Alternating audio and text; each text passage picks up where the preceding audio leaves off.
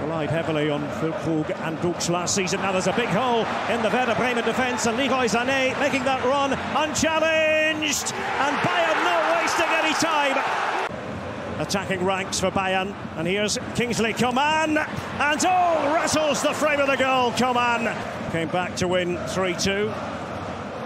Here's Harry Kane. That was classy play. Kane!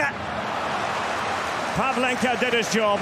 Has advertised that extensively as well. Here's Davies, and now Harry Kane for Bayern. That is classic Harry Kane in his first Bundesliga match.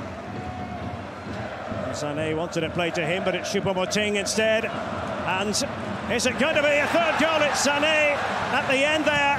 Müller is delighted. Tel. Davies.